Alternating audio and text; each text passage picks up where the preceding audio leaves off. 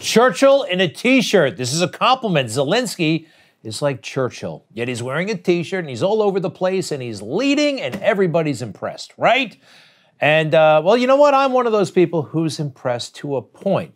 Now, there's a lot we don't know about Zelensky. Like a lot of politicians, he ran on an anti corruption platform. That's how you get attention in Ukraine. And guess what? They started accusing him of corruption. Unclear to me whether that has merit or not, but I'm not going to fall in love with this guy. Number one, the POWs over there are not being treated well. Russian prisoner after Russian prisoner is being paraded in front of cameras.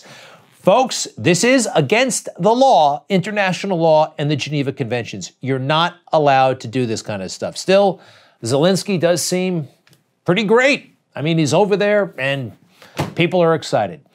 The last time people were excited like this, we had a governor named Cuomo. Remember him? He was everywhere all the time in the middle of COVID. Everybody was so impressed. Look at him. He looks great. He sounds great. He's providing leadership until they decided he's the worst person in the world, right? It happened like that. But boy, oh boy, it was fun while it lasted, for him at least. It's the way that Andrew came in and just felt like a hero to us all. So Andrew Cuomo, I think, is almost the president of New York in this circumstance. Move over, LGBTs. There's a new identity in town. Cuomo-sexual, a new term for Empire State Governor Andrew Cuomo, America's favorite fella. All right. For the record, I never called him that. I never, I never succumbed to any of that. And here we go again with Zelensky. Maybe. I don't know. I am suspicious of overnight heroes. Cuomo, Zelensky, and even Putin. Do you remember for a while they were pushing Putin like crazy? Oh my gosh, he's a genius. Oh, look at him. He's so strong, big, like ox. And the headlines were all over the place. the, the establishment fell in love with this guy for a long time. Anyway, I am not going to go along with these narratives, uh, or at least I'm going to understand that it's a narrative, and there's a damn good chance it may not be true. Now, looking at the battlefield in Ukraine, it does not look good for the Russians right now. They expect this to turn, but what is up with these folks? Uh, they're, they're not very good at fighting a war, are they?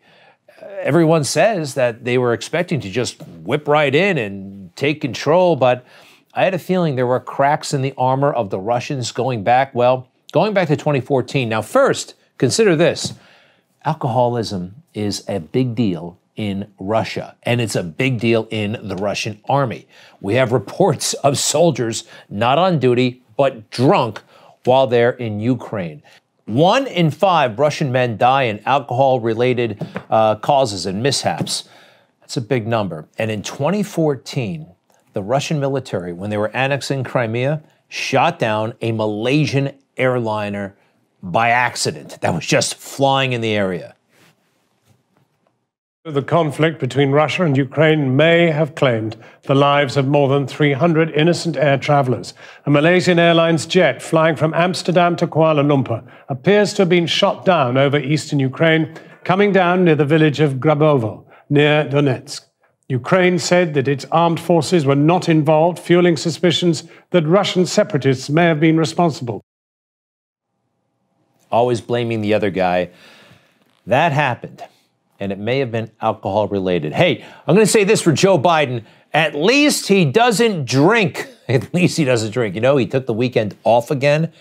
Isn't that incredible? I mean, everything that's going on in the world. This is a job he wanted his entire life. First run for the presidency all the way back in 1987.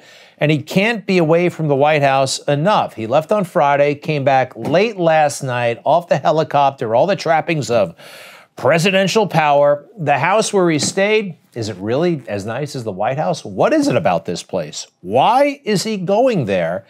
And you know what? I think it's in violation of the promise that all politicians make, actually, but Joe in particular. I will make this promise today. Those families hurting across the country, I will never, never, never, never give up this fight. Never give up this fight. The kind of thing that's so easy to say when you're campaigning. Never give up this fight, but I will take weekends off. What else?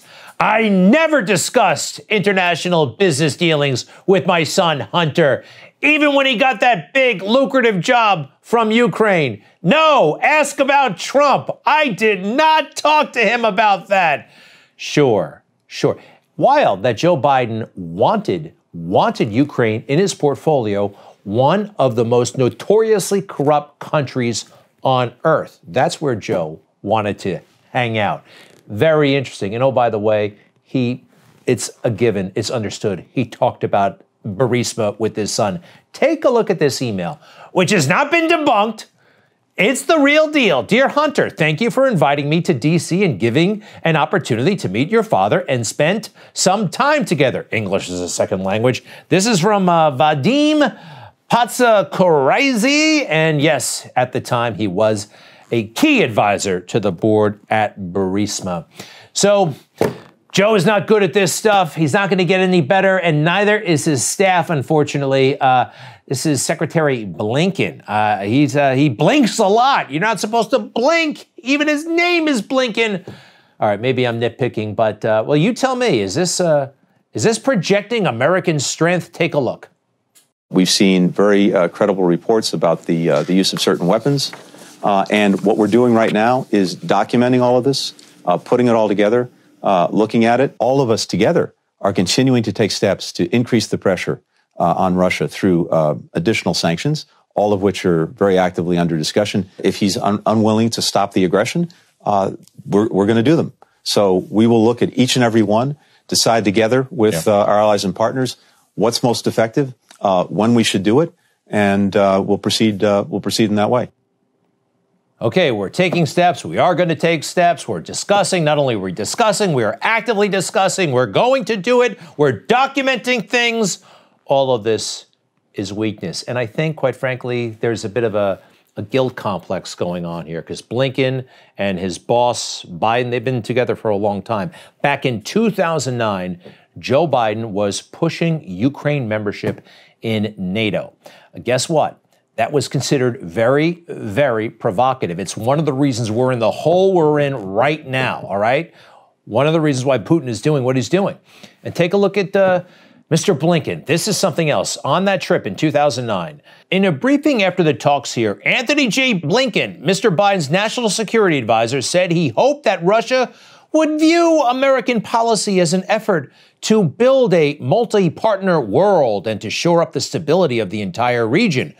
We're not trying to build our own sphere of influence, he said. The partnerships aren't being built against anyone. They're being built for the purpose of addressing common challenges that Russia also faces. But in classic Swamp style, he offers this as his get out of jail free card. I don't have any guarantee that's how it's going to play out. Interesting, right? And total swamp.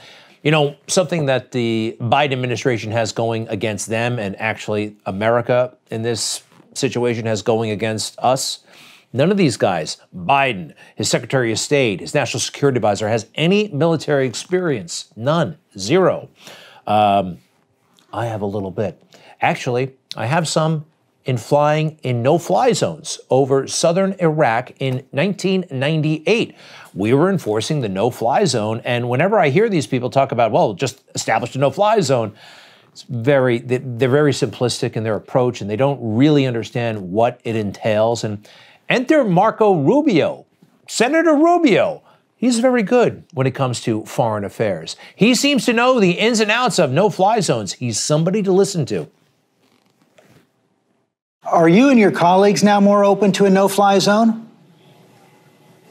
You know, the, the look, a no fly zone has become a catchphrase. I'm not sure a lot of people fully understand what that means. That means flying AWACS 24 hours a day. That means the willingness to shoot down and engage Russian airplanes in the sky. That means, frankly, you can't put those planes up there unless you're willing to knock out the anti aircraft uh, systems that the Russians have deployed, and not just in Ukraine, but in Russia and also in, in, in Belarus. So basically, a no fly zone, it, uh, if people understood what it means, it means World War III. He's right. He's right could be president someday. It's going to be a long time, though. It's going to be a long time. Keep your eye on Marco Rubio. And also, we remember that this would not be happening if Trump were still in power. It is obvious. And by the way, he was telling Europe, warning them, get off of that Russian oil and gas. He was saying it in early stages of his presidency. And they literally, literally laughed at him. Reliance on a single foreign supplier can leave a nation vulnerable to extortion and intimidation. That is why we congratulate European states such as Poland for leading the construction of a Baltic pipeline so that nations are not dependent on Russia to meet their energy needs. Germany will become totally dependent on Russian energy if it does not immediately change course. Here in the Western Hemisphere, we are committed to maintaining our independence from the encroachment of expansionist foreign powers. They laughed at him. That's the German delegation laughing at him. They should have listened to him. Angela Merkel and all of those leaders, they didn't like him. The diplomats, they couldn't stand him, but he was right. And American diplomats, oh, by the way, they just found his manner offensive. They were always pulling stunts, you know, objecting, petitions, uh, we object, walkouts, that kind of thing. They were sabotaging from within. I wonder how they feel right now because instead of leading on this situation, we are following. You know, in the old days, well, what are we doing now? We're seizing yachts. Wow, that's really going to bring this to a close, right? We, we seized the yacht. There was a time in this country where we seized the hill and nobody messed with us, huh? I think those days are coming back. I'm not sure when, though.